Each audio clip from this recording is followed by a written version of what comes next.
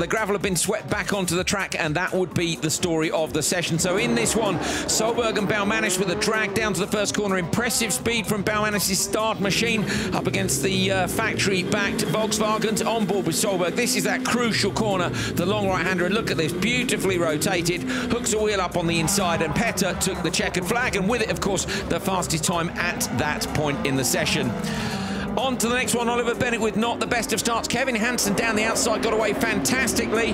He decided to go down into the Joker. Larson went with him. Grosset, Janin and Kristoffersson. Kristoffersson giving Grosset, Janin just a little nudge on the way into the corner. Johan Note, the world champion on a flyer in the polo.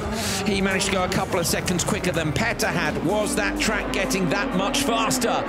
Timmy Hansen versus Mattias Ekstrom into turn one. It looked like Hansen pulled the bar to get it sideways. Ekstrom snuck up the inside, maybe a little nudge in between, but Rubbings racing.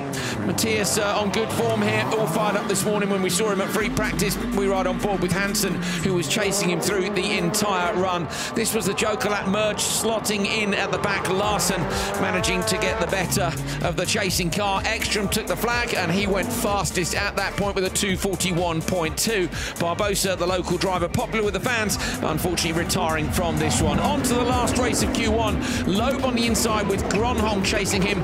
Chicherit going down into the Joker lap with Demoustier. Bakkerud had got a bad start and was on the back of this chain of three cars hammering around the circuit. That was Bakkerud up the inside of Gronholm. Bakkerud going late and deep down to the Joker up the inside of Gronholm who was turning into the standard lap.